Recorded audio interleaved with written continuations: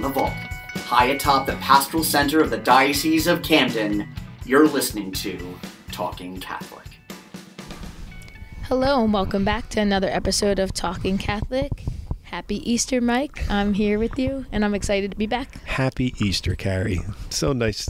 Actually, I'm exhausted. It was a very, very, very, Mm-hmm. very busy uh, Holy Week, and uh, but it was as wonderful as I've ever remembered it. So true, so true. I actually saw more posts uh, this Easter Monday of pastors about how exhausted they are than I ever have on social media. I was like, wow, that really makes a lot of sense because me as a layperson who just has minimal work to do to prepare, uh, you know, our, our OCIA candidates and catechumens and um, the, the little behind the details that go on in Holy Week and uh, the Triduum particularly.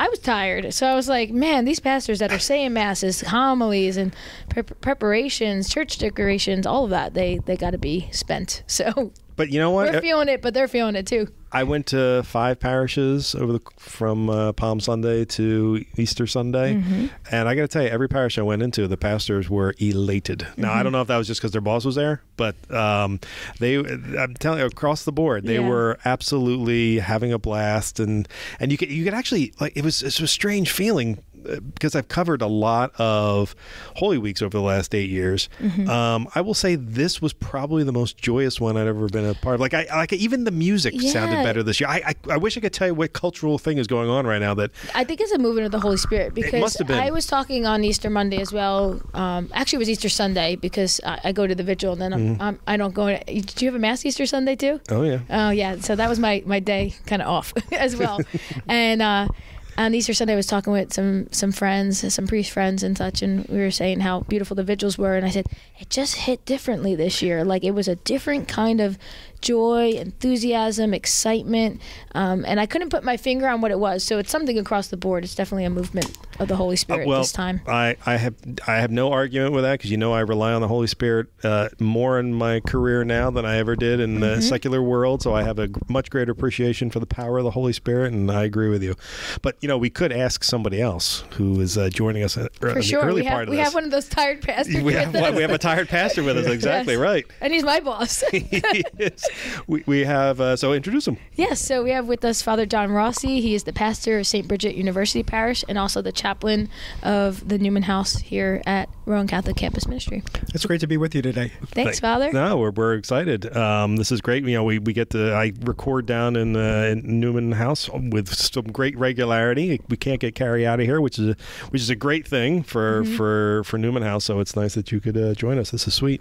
And- Actually, actually, it's kind of funny. I, I remember our first time recording with Father. You might remember this. I think it was on the Advent season, probably like ten years. ago. Yeah. No, Well, no, not that not long ten ago, years ago, but five years ago, maybe? probably, yeah. yeah. I remember recording with you. Now here we are, Easter season, and working together. It's like like time just it just goes by. It's so crazy. Right, that was back at Our Lady of Peace. I It think was. you had a It studio was. in the basement. yeah, it was quite some time ago. Yeah, it was, but that was a that was a great conversation. We always like doing the se- the seasonal conversations, the seasonal episodes, uh, because we always learn something new. And it would- to that point, if anyone did not hear the Father Stephen Robbins episode, um, I Phenomenal. I'm going to cut out the ten minutes of us bantering beforehand, so people just listen to Father Stephen Robbins. Mm-hmm. He did a great job. We've done those seasonal episodes many times over Mm-hmm. the years, and that may that's a that's a top That's two. an award-winning yeah, one. It was I'm, I'm so- sending that in. It was so well done. was really I good. actually, I rarely do this. I texted him after listening to it. I said, "Great job on the Talking Catholic podcast." Like, Yeah. you know, I, I I listen to them regularly as much as possible, and um, when someone definitely does a well above and beyond, it was like, oh, I have to just tell him. Like, it was so good. he did. And I even sent it to our students and said. Listen to this. Like you're going to learn a lot about the Triduum. Yeah, yeah, we're It's gonna. great. We may never do another uh, Holy Week episode Should again. I may, I'm just gonna rerun that every, every single year. So, Father Rossi, are you as tired as all the other pos- pastors out there? I don't think so. I recharged it a little bit. My Very day nice. off was on Tuesday, and I had a good day yesterday to rest up with all this rain. Yeah, that not- was good. Not much you could do outside right Yeah. now. No, that is true. The I think that you know what you might be right. I think the Holy Spirit was looking after us that way. Stay inside, get Mm-hmm. your rest, take some naps. In my case, I did laundry. Um, the so was it a successful Holy Week at St. Bridget's It was Parish? wonderful. Really, Yeah. that is good to hear. I think it was a successful Holy Week and Easter because it was a great Lent. yeah. I think we really lived Lent well. We Mm-hmm. really got into it this year with all the things going on in, in our par- parish and the Newman House yeah ministries. yeah we had a great opportunity here um, and yeah, I know you don't like it when I talk about other apps and podcasts, but You know I don't. It was um, the Hallow app. Um, we had a wonderful opportunity to have the subscription to that at a very, very low, affordable cost of one dollar for the entire season of Lent. And just like they said it would, it cut off on April first. I tried to go into the uh, Divine Mercy Chaplet to do my novena, and boom, it was not accessible. But um, but to have it for one dollar over that course and listen through uh, the Pray Forty Challenge, He leadeth me, particularly um, meditating on that was just phenomenal. And our, our parishioners, our students, everyone, and that Got was a lot from of you, great Father. feedback. Yeah, Yeah, I I, have to say. I, I heard the same thing. My wife, my wife did it, and I heard other parishes were doing it as well, and I heard nothing but great things across the board. So that was, I mean, I don't know if that you know my jaded self as a PR guy. I don't know if that was a plan by Hallow to you know really get people interested in the app. It probably was, but man, I think it, I think to your point, uh, to the both of your points, I think it really served Lent well this year that It people did. had access to something like Right. that. It gave everyone a focus. At least here, I have to say, Mm-hmm. the students and some of the parishioners, and myself included, I didn't miss a day. I was listening to Mm-hmm. Those reflections, and it really just centered me on what we were doing and how important it is to enter into that holy Mm-hmm. season to get ready for Easter. Yeah. We played it around the house a lot. We would we pray a rosary daily here at certain times, and then after rosary, we'd come out and we'd put it on the, the speaker and just kind of have the house quiet and listen for that 10 or 15, 20 minutes, whatever it was. And um, if it wasn't playing at the house, there was a conversation in our group chat going on, like, who listened today? It was so great. I, I recommend listening. So really just served as well, as Father said, for a Lent. And and when you have that kind of coming into Holy Week, that that your that spiritual tone has been set now Yeah. for uh, the 40 days. Like you are so ready and so excited for um, all that's to come at that Easter Mass, at, especially for us at the Easter Vigil, which was just phenomenal. We had nine people make their sacraments. Um, six of them were, were students uh, here at Rowan. Um, well, one one is a student in quotes. We'll hear from her shortly, but uh, um, six of the college age, and, and then three adult parishioners, and it Yeah, was a, fa- a, fa- a fairly senior person too, right? Yes, yeah, it was a well, it was a married couple, and and, and yes. Oh, so that was the, what the deal yes, was? Okay. yeah, a little more senior senior ended. Yeah, that was it was it was funny because I you, you do a great job, Kari, of always posting photos from the from the parish, and so I couldn't be there because you know I was doing the bishops. And as I'm look looking at the vigil photos, I went, oh yeah, kid, kid, kid. What? Whoa, there's there's a older fella there. I was like that that made me very happy. Yeah, non-traditional college student. yeah, well, they're from the parish and they've been attending mass uh, regularly since last Easter. The Yeah. Easter was their kind of anniversary of uh, their first Catholic mass. Um, one one was already baptized Catholic and one was not, and so um, the the wife needed communion and confirmation, and the husband. Full, fully initiated baptism, communion, and confirmation. So it was really joyous uh, for them as a couple to, to be traveling through this uh, this whole year of taking classes together. That's really sweet. I'm not sure. I I don't know that I've ever known a couple. Had- uh, In your in your time as a priest, Father, had you had have you had that sort of situation where you've either baptized or did the full boat? Not a couple together. Yeah. Usually they're I've seen coming, sponsor, Yeah, yeah. sponsor. yeah, I've seen yeah. sponsor and, mm-hmm. and candidate, but never together. Which That's is, really unique. Yeah, You know and- what? you know what that's called, Kari? That's called a feature idea for the Catholic Star Herald to, to look into. I'm gonna, Where is Jennifer? I, I know. Well, she is currently in Germany. I saw that. Yeah, she's enjoying herself. But uh, when she gets back, I, that sounds like we, a feature story for a future, uh, That sounds article, if good. not a future podcast. Yeah, and it's really beautiful how um, this other family really I- invited them into the church. I mean, it's evangelization at its core, for sure, um, and bringing them to mass and, and, and being their and it was their sponsors, That's really sweet. another married couple. So at that. It, it is a good story. It Look at- so You know, it's feel funny. free to We- we- use it. I think we've mentioned this on the podcast before, and uh, Father Austin, we even mentioned it with you. The um, the fact that the Holy Week is such a such a, a peculiar week in the in the Catholic Mm-hmm. Church, and not in the not from a spiritual standpoint. It's beautiful and blessed in this from a spiritual spiritual path, uh, standpoint. But when you think about it, you know, it's it's a solemn. There's a, a lot of sadness, and you know, there's some some terrible things that happen. You know, from both a human perspective and a divine perspective. Well, maybe not from a divine perspective, but then there are these moments of absolute joy that it, that occur during Holy Week that I I Even absolutely Holy love. Thursday. Yeah, I mean, it's like in the midst of we're just about to Jesus about to is betrayed. He is betrayed in in that in that mass, and then but yet the Gloria was sung. You know, Yeah. during it. It was just like this kind of break in the in the solemnness uh, to have some joy. The, the institution of the Eucharist, institution of the priesthood, Yeah. you know, and then kind of crashing down for the next day of that solemn time of uh, Good Friday. And that was really beautiful. I would have to say something differently about this Good Friday as well. We're really blessed at St. Bridget's to have a piece of the a fragment of the true cross and uh, to venerate that and the and just people's um, solemnness, uh, even their emotion to see and witness. Even my own son, I didn't tell him what to do. I just said, "Go up and, you know, you can give Jesus a kiss." Or whatever. He like genuflected, all perfectly, and like put his hand on the relic, and then like I did some form of uh, kissing to his feet, and I was like. Oh my gosh! Like I wanted to burst into tears right there. It was just overflowed my heart just to see that. But even just our students and the elderly parishioners and everyone going up and showing their own form of veneration of the cross. It was really beautiful. Yeah. I love Holy Week. I- kind of sad it's over. no, that, that, Yeah, something to look yeah. forward to it's, every it's year. a joyful Easter now. We're, we gotta, we Yeah. gotta live this Easter joy. No, no, yeah, we got we got 50 days of joy. Yeah, for, the- that's for right. that just just really, and I re- I really that's my intent this year is uh, for that Easter season. You know, and for for all our listeners who think that Easter Sunday is a is a day, it's it's an entire season and it's longer than Lent. Um, you know, we really need to, to Mm-hmm. lean into the joy of uh, of the Easter season and the fact that it continues on and on and on for weeks. Uh, so let's uh, let's make sure that, as Bishop said in his homily uh, during the vigil, during the vigil mass, you know, keep Christ risen with us. You know, it's it's Yeah. it's it's in your heart the entire time. One of my favorite quotes by St. John Paul II. We are Easter people, and Hallelujah is our song. So we we are Easter people. Like well you know, said. Always.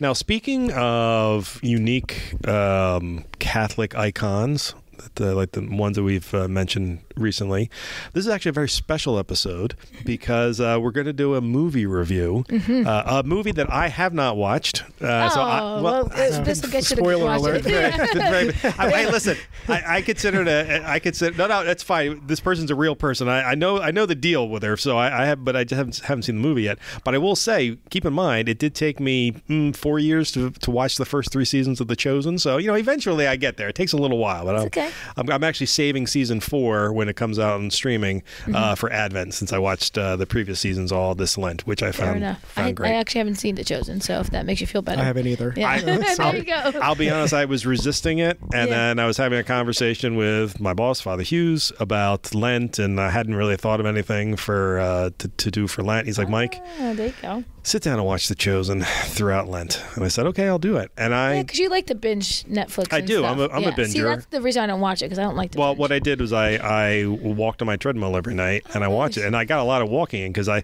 I was told that they were like 45 minute episodes. Some of them are like an hour and 15, an hour and 30. So I got a oh, lot of Oh, exercise in, so- which I wasn't anticipating. That's a good way to kill two birds with one stone. but I was so I got I got really annoyed with Father Hughes a couple of times because you know I'm jaded and, and things like that, and there were some episodes and some scenes that really like I had a visceral reaction to, and I did, and I was like, and I got, I, and it really made it made me like look at in uh, sort of look inside myself and decide you know what what I was doing and what I could be doing better, and I didn't want to make any changes, so I keep. Well, that shows it was a good Lent It for you, was. it was a good Lent for me. Father Hughes uh, coerced me into watching The Chosen. And there, were, there were parts of it that spoke to me, but that is not why we are. We're not. No, re- we're not re- we're not yeah, reviewing The that's Chosen. another podcast That's for another right. day. We'll do that another time. Uh, no, we're reviewing Cabrini, Yes. the new movie Cabrini, and we have Father John Rossi on to help with that, Mm-hmm. along with two other guests who can now turn their microphones on and let us know who they are. To my right is. I'm Sam Brown from Gloucester Catholic. Hi, Sam. And Sam, you are a sophomore at Gloucester Catholic? am. That's right. All right. Welcome, and, Sam. And I've known Sam for many years. Uh, she and my son went to school together all through grade school, so big fan of the Sam Brown and her family. And she's also from our parish. That she's is an true. altar server there and uh, been a faithful attendee of our parish, St. Bridget. So Altar server we're extraordinaire, as a matter of fact. She's been in many of the bishops' uh, uh, uh, masses where she has been the altar server. Good stuff. And also with us is Uh, hi, I'm Candice. I'm freshly Catholic uh, this Easter Vigil. Woohoo! Uh, Kari taught me RCIA, and Father Rossi uh, gave me all three of my sacraments, so that's very cool. Congratulations! Yay! And you The were the chrism still smells fresh on her forehead. Yeah. freshly minted can- uh, Catholics, always the nicest smelling, and she's quite joyful as well. She's uh, you you always mint the uh, the peppiest Catholics, Kari. So good job with that. Try. So, um, but there's but it's a peculiar connection here, right? Like um, Yeah, not so- not a Rowan student. Yeah. Yeah. Go no, ahead, Candice. I uh no, I don't go here. I just live in the area. I live about about 10 15 minutes from from uh, Rowan. And in a I have a friend that goes to Rowan and in a strange circumstance, I, you know, that that person is friends with uh, the Newman the president of the Newman House, the president of Rowan Catholic.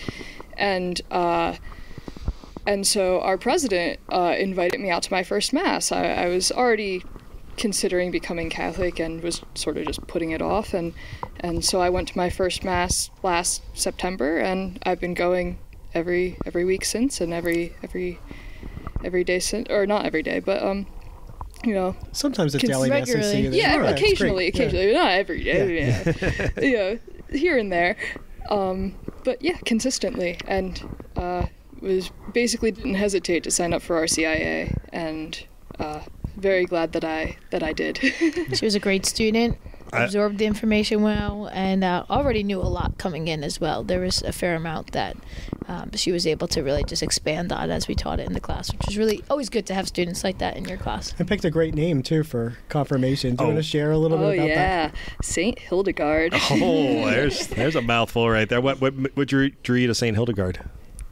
I'm sorry. Oh, what drew what drew you to Saint Hildegard as your uh, as your Um, saint? So I wasn't initially drawn to Saint Hildegard because I didn't know anything about her, and so uh, I had initially picked a different saint, and in like the last like two weeks before I was supposed to get, uh, you know, baptized and confirmed and all that, uh, I, you know, just started like, you know, watching all these YouTube videos about her and like her theology and the, like listening to the music that she wrote and and the languages that she that she um, uh, that she wrote down that that that previously didn't exist. So she, you know, uh, I think it's uh, purported that it's like divine revelation that she was given these these these words, and and like her her beautiful paintings of like her conception of, of the universe and, and, and, and God and all of that. And she's just like this total polymath. Like I think she's good at everything and Wow. uh, I just I really really like her and and uh, as as a aspiration I don't think that's a bad one I think I think Well, I like her and and feel very drawn to her well, I'll tell you, I'm, I'm glad I'm glad you mentioned that because in all my time I've never heard of Saint Hildegard. So Oh, yeah. She's I have somebody to actually check it also- out. she's actually a doctor of the church Oh, Yeah. no, I Yeah. really got to and, check re- her out. and really good with natural remedies. She has Oh. like a whole book on them. okay. So if you're into that, cookbook yeah. slash uh, medical yeah.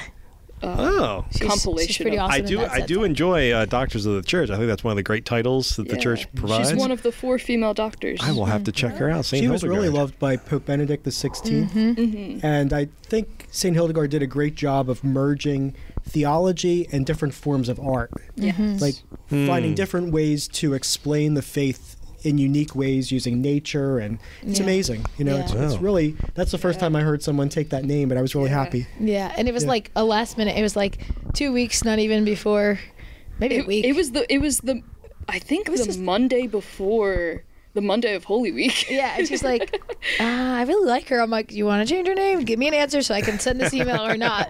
And and we did, and it was perfect. And I think you know it was yeah, God timed it all perfectly to make it work out. Saint Joseph's great. We love him. I mean, who yeah, doesn't? Yeah, that was my But, first pick. Uh, Yeah. I Saint think- Hildegard definitely suits you well. yeah, I certainly I I still love Saint Joseph. I just it feels more correct this way. Mm-hmm. I think. Sam, you're you're two years away, two years removed from confirmation. Do you remember who your confirmation name is? Um, I took the confirmation name Carmelina for Our Lady of Mount Carmel. Oh, very, nice. That's, I don't think Another I've ever good heard. devotion. I've heard of her obviously, but I don't think I'd ever heard of anyone taking Carmelina before. Great name, great choice, Sam. I would I would expect nothing less from you. Thank you.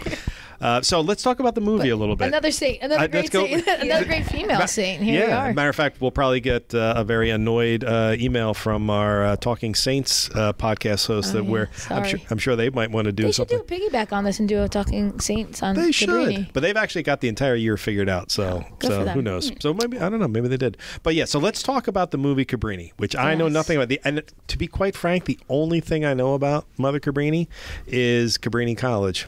That's okay. which is Which is go- closing. which is going away. Yeah. yeah. I know. It's so sad. I actually know a, a bunch of uh, alumnus from there, and I said, uh, I said, you know, if that movie had come out two years earlier, I wonder if that would have spurned Yeah. some interest. It would have been nice. But but let's talk about the the Cabrini movie. 1st Mm-hmm. of all, where did everybody see Cabrini?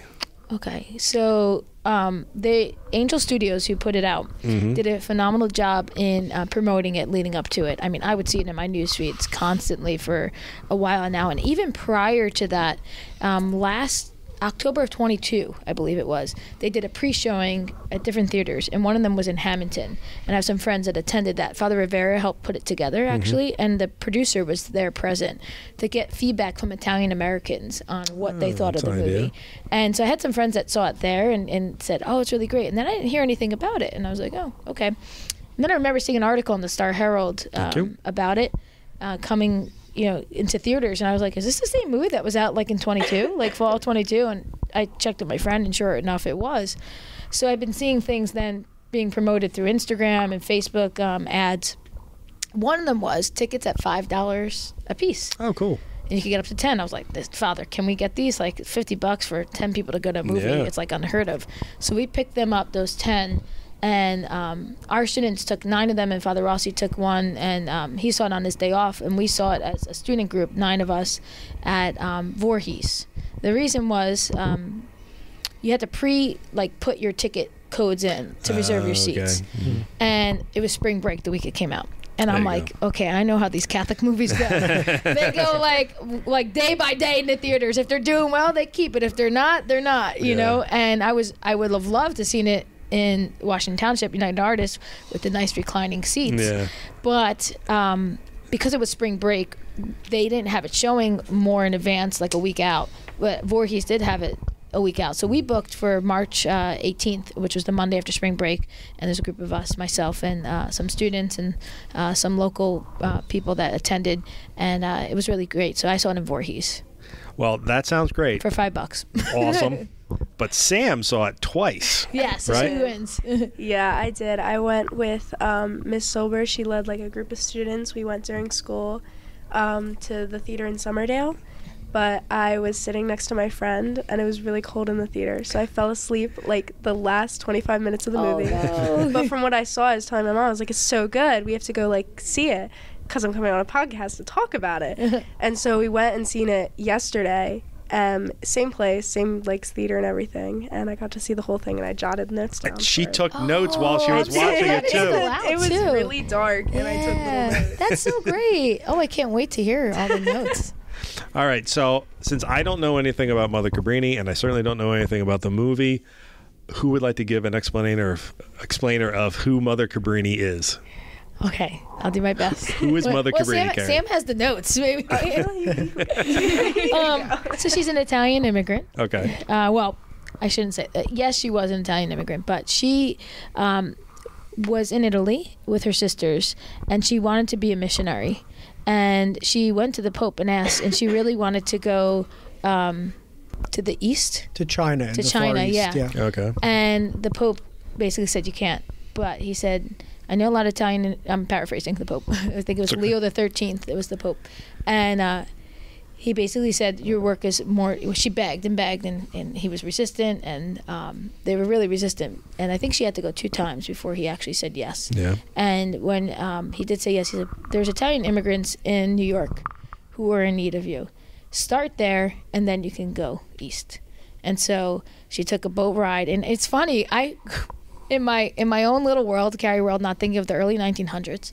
Um, that it was boats. I'm like, oh my gosh, she's gonna fly in a plane there, and then I see the boat. I'm like, wait a minute, oh my gosh, and like the conditions, like Sure. on the boat, were difficult, and um, also a really important aspect of Mother Cabrini's life was that, and they kept doing flashbacks to it, that she had a um, a drowning situation as a child, and um, she survived through that and was really praying through that.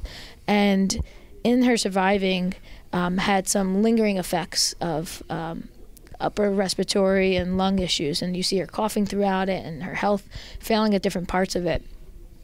And during that time um, of on the boat and all that, the conditions were just terrible, you know. And even when she got to New York, the conditions were not the greatest. And so, seeing all that she did just to get here and to serve the people, she came with uh, five other nuns, I believe it was, with her to come and serve the Italian immigrants in New York City. And Yeah. when they got here, um, they were not well received at all. You know, not well received at all. And they were in the slums in New York. Um, and uh, what was it called? Five Points, I believe, Yeah, was the that's area right. it was called.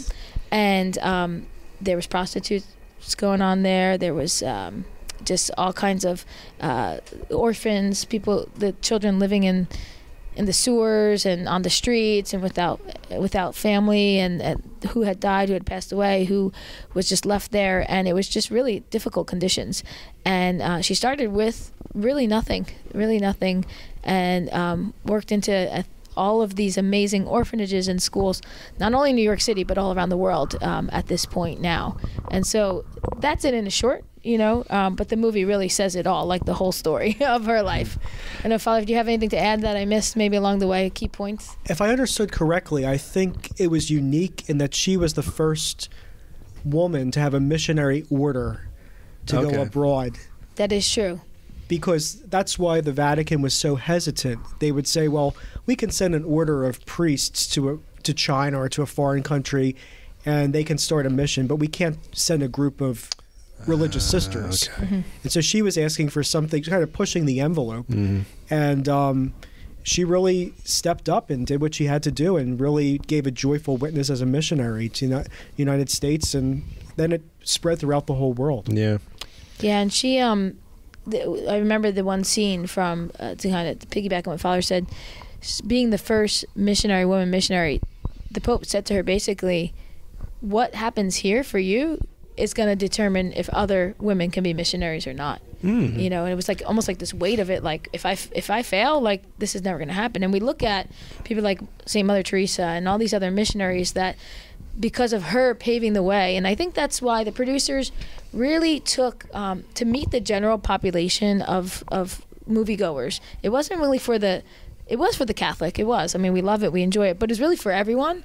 And they really took the the stance on um, you know, women empowering women. Yeah. And you see that woven throughout the movie. Um, you also see um, they released it intentionally on um, International Women's Day, you know, March 8th. They did a lot of like key advertising in that sense so that it could reach the unchurched. And I think it was really genius in what they did in that. Candice, you had we had a great conversation about that here about how the the producers chose to do that. And if you wanted to add anything else, because we were talking about that here at Newman the one day. Yeah, yeah. So I went and saw the movie actually on the same day as you and the people from Rowan just earlier in the day. That's right. um, because my mom wanted to see it, and my mom is not Catholic. Um, so she had saw some like Facebook advertisements or something, and so she, you know, she wanted to see the movie. We went out and we, we saw it, and and it really was perfect for somebody like her, where, um, you know, she she did, I think initially want to watch the movie because, like, oh, it's about like some strong woman. But now she knows the life of a saint that she otherwise wouldn't have known. And i think that the movie is something that is so well done in that it can be enjoyed by anybody and that the target audience really is maybe you know a lukewarm catholic who has maybe fallen into like the trappings of feminism or like you know your like atheist cousin who is really into history. Or and like these people can be drawn into this movie they don't have to be catholic to realize that it's interesting and they can watch it and now they're they're one step closer to to knowing about the church that they otherwise wouldn't have been. Um, and I think that the movie is well done in in the fact that it does emphasize the the strength of women but also the differences between men and women in a way and, and through doing that I think that makes the movie in and of itself not feminist Okay. so Yeah. because I can see that. you know th- there's there's particular things that Cabrini would not have been able to achieve if she were a man hmm and and there's particular things that um you know they, they have different strengths, and those strengths are highlighted throughout the movie. Well, it's it's funny because famously in the Catholic Church, it's you know well documented about um, uh, religious women who have had a great impact on popes to move them in, uh, into a direction they might not otherwise want to move. So it's it's very important. So Sam, from as as the chief note taker, um, so as Kari mentioned earlier, um, uh, this movie is put out by Angel Studios, who by the way puts out the, the Chosen, That's and right. is particularly adept now at creating you know these sort of religious stories.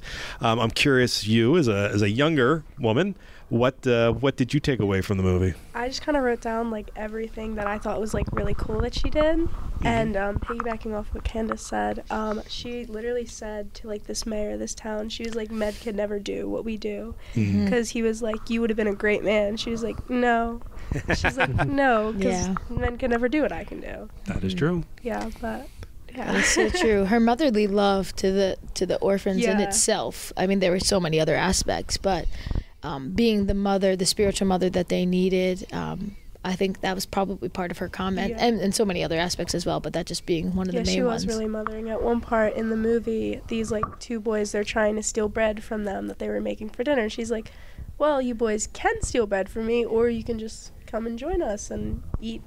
Whatever they were eating for dinner, and the younger boy's like, "Hey, that sounds good. like, Yeah. let's do that." yeah, and those Yeah. were two of the main. That was the little boy Enzo, and the and other Paulo, yeah. and Paulo. Yeah, You know, hearing actually hearing Sam say that, I'm reminded of another podcast we did recently that unfortunately you weren't able to be on. But when we interviewed the CFRs, mm-hmm. you know, they talk, they have this winter shelter down in mm-hmm. Atlantic City, and we asked them like what was what made it special, and actually they said something very similar, which was you know they don't need more money. They need more sisters because only th- their charism is what mm-hmm. makes their their homeless shelter unique and that they're mm-hmm. able to like work with people in a very unique way. So hearing something from 100 years ago and then and Yes, then hearing over. it modern mm-hmm. times now that there's still some truth to that that religious women really do make an impact in ways that nobody else could. Yeah, yeah, so true. Um, and you see that throughout the entire movie, and I think that's what really moved my heart as a you know as a mother, you know, not a, religious woman, but a layperson, but just to see their love poured out and in so much. I mean, they were risking their lives coming to the United States. I mean, they laid their life on the line at that time in that time period. I, I just looked up; it was 1889 that they actually came over, and. Um, and at that time period like and i didn't realize this i'm not a big history buff i'm gonna just lay that out there but like how the italian immigrants were not well received at all at that time. I mean they were just oh yeah i right. did not know that. Like i'm like thinking like oh my gosh my great or great great i'm just trying to do the math real quickly grandparents and some ancestors of mine came over at some point and were here and were treated that way and i'm like wow that wow i did not know like they had to endure so much um, such hardship at that time and so and she even said we're not here just for the italians we're here for all you know like mm-hmm. and, and it wasn't limited to and the the first hospital that she wanted to make and by the end of the movie that's what you see come to fruition that she had this vision for she said it's not just for the italians it's for all you know this this hospital and that was she was just so driven by that. But because they were they they were dying because they were not receiving the same treatment that others were receiving was her real uh, focus. And just think you know 20 30 years prior to that it was the irish coming over. And then they had you know come into a place where they were in a good place. And you know she wanted that for the italians but she she wanted it equally because they were all children of god and that's the way she saw them. And that was really just just something that kind of rose to the top for me yeah and i like to hear each person's maybe you could think of one of your favorite parts of the movie or highlight um, was a question that i have because I will say for me, um, it was the point where with Paulo and um, Enzo, which is these two young men who you follow kind of throughout the movie. Actually, the very opening scene is Paulo. Um, with his mother dying in a little push cart that he's driving, like pushing her all around, trying to find somebody to help her, a doctor to help her, and she ends up passing.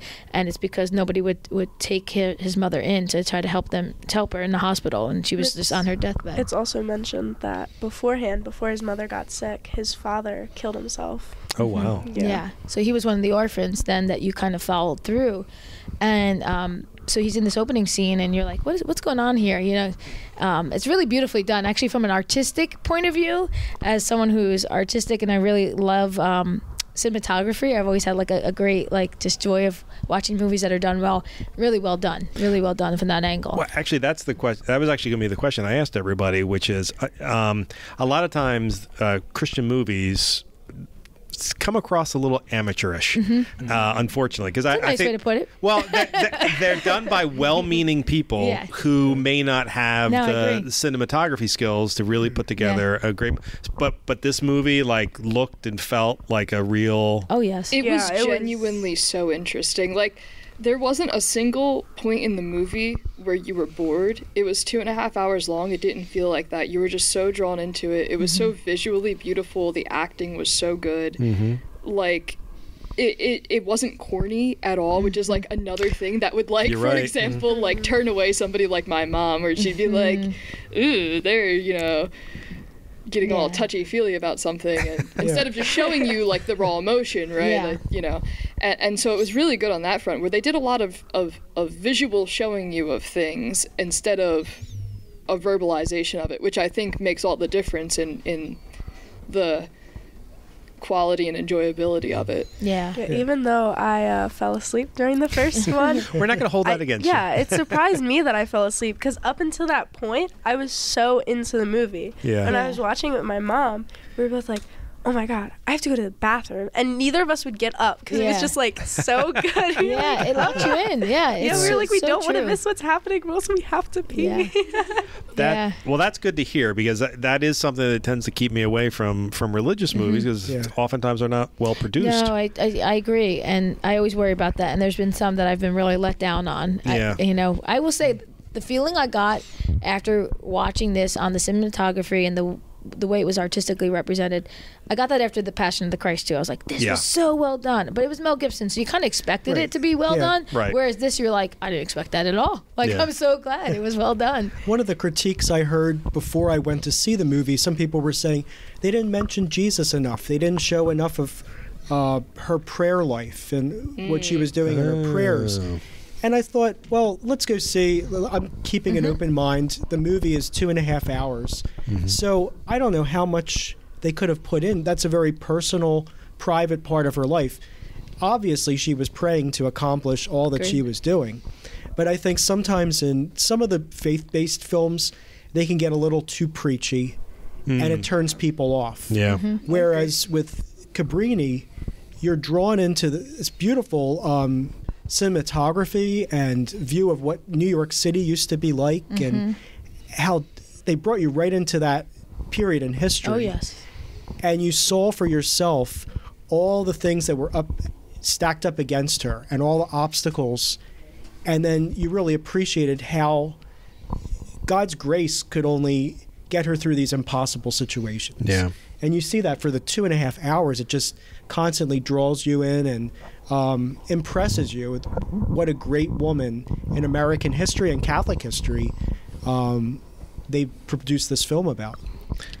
I No. Yeah. totally agree. A- And I think that the criticism that there isn't enough praying or Jesus in the movie is silly because um, if you watch the movie, it there is there is praying. It's just not verbalized. I think it's done through her actions. It's done through her Right. actions when she's making her appeal to her sisters to, to press forward in in you know in this new foreign place, and when she's making her appeal to the Senate to allow her to help these people and invoking their souls and, and what they're doing for the poor and, and how they can she does it a lot for all the verbalized things are for other people but then even going back to um, her drowning it's every time that she goes back to that, it's almost like she's saying like God gave me this new lease on life. What am I here to do with it? I'm here to do what He wants me to do, and it, that's not verbalized, but but I think that it's maybe better that it isn't, so mm-hmm. that more people can relate to it, because mm-hmm. we all have those moments where we're thinking about something happen happening in our past, and and you know, for for a lot of the faithful, that is, you know, in, in the form of prayer. But you know, for a lot of the non-faithful, they they do these things too, and and maybe they are praying and they don't know it. But you know, it's it's something that anybody can It's can relatable come in, in through. that sense. Yeah, Yeah. it really is. And to Father's point, um, I did also hear that from some of uh, people that have viewed it before me, especially because it had been out a week at that point, and they're like, "Oh, have you seen this movie yet, Kari? It's really great." But and I was really viewing it through the lens of, all right, I'm going to put that aside and just kind of make my own um, decisions on it and and kind of come to my own conclusions. That didn't bother me one ounce. It didn't bother me one ounce because anyone, if you are Catholic and you see this work being done, you know they're praying. You Yeah. know that their spiritual life is in check because any Catholic that watches that or Christian should know that we cannot do any of this without God by our side, Right. especially what she accomplished. So it didn't bother me one ounce. Actually, I was kind of glad that people said that to me because then I just dismissed it and just kept moving on with watching it and enjoying it. I'm like, this is great, you know. And I was on just such a such a high after watching it. It just, it, I walked out of there and I was like, I'm Italian. I'm an American. I am. I'm a woman.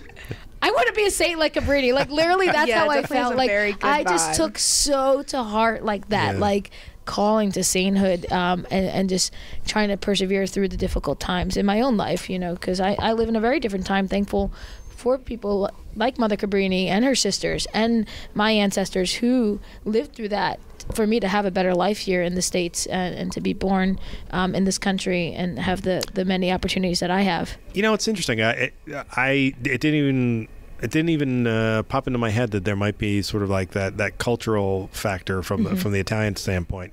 Um, so you know, but I'm, I'm like a quarter uh, Italian, and yeah, I know who met my great grandmother, and I, I did know I am aware of history and how everything went down, and you know what she had to go through when she first came came over, and how difficult it was for her. Um, but it didn't occur to me that the, we would be seeing signs like that. It's a good reminder, actually, Yeah. culturally, and it sounds like. Um, you know, we have these conversations on the podcast regularly, um, depending on who we have on. But we have a lot of Catholic Charities people, and it's, it's always relying a lot on Matthew 25, and you know that that's you know it's the same deal. Like you know, Catholic Charities uh, doesn't necessarily. I mean, everybody prays and everybody does their stuff, but it's not necessarily that public part of the public facing part of their job. The public facing part of their job is working with all of these people. Come to think of it, even with all the time I've spent with the CFR sisters down in Atlantic City. I don't know that I've ever actually prayed with them, like other than like on the job while they're doing something like. But yeah, I mean, uh, their their grace and their charisms come forward without me ever having once seen them pray. Yeah. They're very pray- prayerful looking, and they're very you know kind and everything you would see. But yeah, I don't I don't know that I've ever actually experienced their prayer life. Mike, you should go to the uh, Father Benedict house one time because that's I've been to the Father Benedict house. no, but serve there because at the end they do the the midday prayer, which is really nice, and you, you have an opportunity. It is really beautiful to experience it. I've gotten to, but to your point, yes, that's not what's on the outside. That's not what we're seeing. We're seeing the mm-hmm. good works, but we know because they are prayerful, and that's really if you look at it through that lens, and anybody that is hesitant because maybe they heard those comments because they're they're definitely more prevalent. I've heard it in a lot of Catholic circles. Just look at it through the lens of like she's doing this work because she is praying, Yeah. and mm-hmm. and you'll be fine. Um, but I do want to hear each person's favorite part. I do like to hear what stood out you Oh, know, to well, you. were you Can gonna do say something? yet? Well, I'll, I'll say. I'll say something when we. When Oh, we go okay, around. okay. I kind of I do have like maybe one and a half criticisms of the movie. If they did like one and a half things differently, it would have been maybe perfect. But uh, I'll talk about that when we go around. Oh no, you you bring it up okay, right now. okay, okay. And then you give your favorite part. Yeah, part. I'll give my favorite part after. So, um, i- you know, it, it isn't without any fault. I, one thing I would have, this is maybe the half part, I would have loved, I would have genuinely loved, there's this character, um, her name is Vittoria, she's a, a prostitute, and she, at the very first, when they first land on the shores, they first get to Five Point, she helps the, the sisters in a tough situation. And despite herself, despite you know her lifestyle, and despite the, the danger that she could face by by doing this thing, and slowly throughout the movie, she she comes, um, you know, and, and and there's this lovely thing that they do where they they make her wardrobe more modest throughout the movie, and, and she has her whole little conversion just through the witness of the sisters, essentially.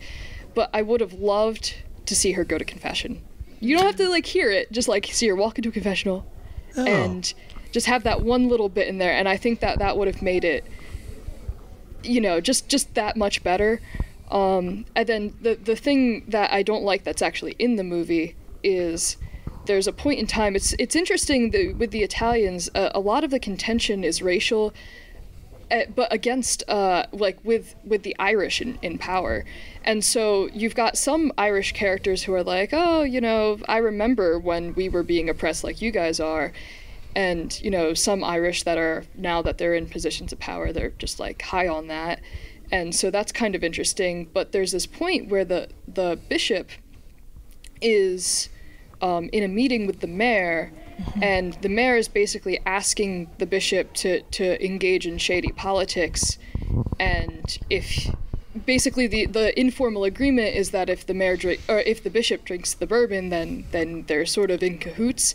And then he did drink the bourbon. And I thought that was a little strange. I, I, didn't like that. I didn't like that at all. I, I would have liked to see him like put it down and walk away and like have a little backbone. But um, my favorite part of the movie. Um, oh, that's that's hard. Uh, there's there's so much good in the movie, but I do like um, a couple of things. So so Cabrini has this like totally unchecked ambition, and that causes her a lot of problems. and I thought it was interesting how every time that she was like going against the bishop or, you know, trying to essentially disobey a, a direct order from her superiors, things didn't work out for her. But I just love the characterization of her because I, I talked to a seminarian who like seriously read her like readings and uh, her writings and stuff, and he was like, "That's exactly how she was, right? Like she was just this totally ambitious, borderline unreasonable character, and it really worked out because she just had this incredible faith, and and a lot of the movie is like the male characters who men tend to be more, um, uh, you know balancing the the risk reward thing and mm-hmm. she's mm-hmm. just like nope this is the right thing All to do nothing. i'm mm-hmm. gonna do it i'm gonna go all the way and so i, I just love that characterization of her i thought it was really interesting and really fun and Wow. and it just colored the whole movie and made the whole movie enjoyable For sure. I think that's what I loved about the character of St. Frances Cabrini in in the movie is her strong personality. And to just answer your question, what did I like about the movie? Everything about it, but I was really um, fascinated by her conversations that she would have with the mayor of New York mm-hmm. and the bish- Archbishop of New York, and they were telling her, "You can't do this. You can't do that. We're sending you back to Italy," mm-hmm. and she worked within her limits. Like the she was obedient to the bishop, but she found ways around mm-hmm. to do the mission work that she felt the Holy Father had sent her to do. So she was saying, "I'm going to be faithful to the Holy Father, Pope Leo, and I'm going to do my mission here in America." And these two men aren't going to stop me. I'll find ways around. Mm-hmm. And I love the way it would all work out. Like just going and buy, getting enough money. She wasn't allowed to ask for money, solicit funds, but she found ways around that to get this nice property in a part of New York that really Overlooking put it in everyone's face that Oh, wow. you know, she was doing this work Yeah. and the poor people were coming into that affluent part of town and then the bishop was telling them to move but she found then they they sent her to a property that had so many problems and Mm-hmm. really wasn't a great place to work and she made it work Mm-hmm. everything that she did she always found a way around Mm-hmm. and that's how god designed her i mean that's Mm-hmm. how she was the woman that um, was meant to do this mission and she lived up to her purpose. So that that's what really inspired me. Yeah, for because sure. we all have our own Sure. struggles and problems and our own era and you know people telling us you can't do this or can't do that or you have maybe your health circumstance or where you were born or the language that you speak or whatever and she didn't let any of those things she just went with god and she did what she had to do Yeah. yeah she was like a moral politician in a way yeah where she had to work with not only the church but also the local government and Right. and make things happen in, in that way. I thought that was fascinating too, where she she legitimately had to negotiate and, and at the same time keep her Mm-hmm. her faith in, in in the forefront. she really understood people. And she didn't have a degree in psychology or anything, but she used psychology to deal with those children that had such broken family life or background and deal with these politicians and really amazing stuff that was accomplished in that. And the fact that she was supposed to die in like less than five years coming to America because of her health. Mm-hmm. She lived way beyond Really that. interesting. She lived to be 67, I think it was. Wow. Yeah. Yeah, which was way past what they thought she could live. Wow. Yeah. And she was buried where she thought she would Yeah, be. Yeah, she said, I'm going to be buried on the land by the Hudson, and she was buried on the land by the Hudson. Very nice. Yeah. Which Funny- I highly recommend if you ever have a chance, people listening to this podcast, yeah, make the so pilgrimage close. up there. It's Yeah. amazing. It's really and right nearby is this place called the Cloisters. It's a museum. They've taken a a monastery in France and reconstructed it here in Mm-hmm. America. Beautiful artwork, but across the street is that shrine of St. Frances Cabrini, and it's it's amazing Yeah, to I- see her body in the altar there. I never knew she was there, and it's, uh, it's actually funny enough. When I first came to college, and I was met Father Massier, and he, I said, "Oh, I'm from North Jersey, like right outside New York City." And like the next thing he said was, "Have you been to the Mother Cabrini shrine up there?" and I was like, "Nope." And to this day, I still haven't been. I'm shameful to say. So definitely on my bucket list now to go up there and pay a visit because I've taken her on in, in my litany of saints and really asking her intercession um, because I was just so inspired from this movie. So definitely want to go. Don't feel too bad. I've lived in South Jersey my entire life. Spent many years in Philadelphia, and have yet to visit St. John Neumann. And, Oh, uh, no. I know just a everyone says the pilgrimage same there thing. for Yeah, us. we so- just went Yes, I went there. And All I've- right, we'll take you, Mike. There you Yay. Um, Sammy, what was your favorite part? Um, my favorite part would have to be I think she went in front of. Correct me if I'm wrong. I think it was the like the Italian Senate, Mm-hmm. and it's just Yeah. like this big group of men, and she just charges in, and they're all like, "Get her out of here!" And she's like, "No, like you're gonna hear me speak. Your people are in like New York, and they need your help." And it was just it was a really nice scene. I like that. I like, it sounds like she's, you know, a formidable woman, as I often like to say Oh, yeah. about uh, people. Much like yourself, Kari, a formidable woman, one Try. one who will not be denied. We we got to do the work for the church, and we That's know how to get it done. That's, right. That's how we work. I am well aware.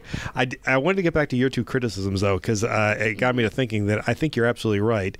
That would have been a cool scene if we had seen the the prostitute uh, walk into the confessional. Mm-hmm. I, I, Right, I think I think that would also assuage a lot of the criticism too, because you know, in a two and a half hour movie, you're not going to show the entirety of an hour long mass. yeah. Well, yeah. Yeah. And the thing, and so many people. but you can show bits of the other sacraments too. Who knows though? Is it is it accurate? Did she Oh, that's ever true. go? She might we not have know? I don't think Yeah, she's a real don't know. character. Like I don't think she's a real person. Okay, so Yeah. But uh, but you know, as someone Maybe who that's why, I know. who has difficulty with confession himself from time to time, and and there's certainly lots of Catholics out there that have a difficulty walking through those confessional doors. That would have been nice to see.